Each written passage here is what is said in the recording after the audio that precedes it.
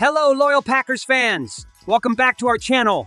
Today, we have some news that you won't want to miss. But before we dive into the details, let me give you a quick summary of what's to come. We have some surprising similarities between the Green Bay Packers and the Baltimore Ravens in 2024.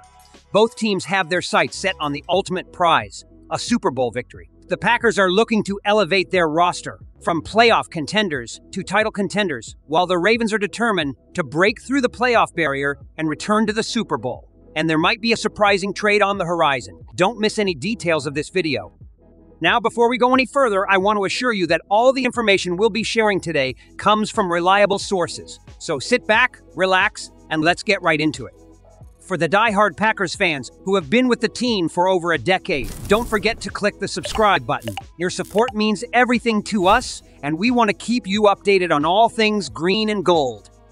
Now onto the main event. A report has caught our attention, suggesting that the Ravens may have their eye on a former Packers starter to bolster their roster. Wendell Ferreira from A2Z Sports explained why this move could be a game changer for Baltimore.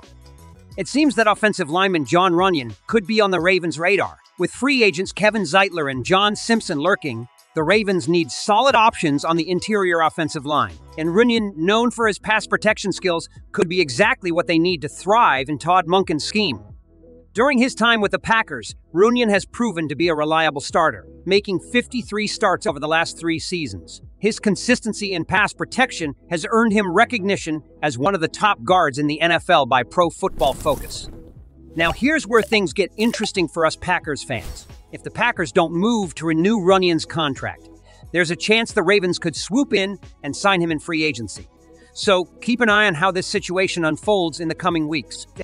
We want to hear from you, the fans. What do you think of this potential move? Do you think Runyan's departure would be a loss for the Packers? Or do you trust in our team's ability to adapt? Leave your opinions in the comments below and don't forget to like, share, and subscribe for more updates on the Green Bay Packers.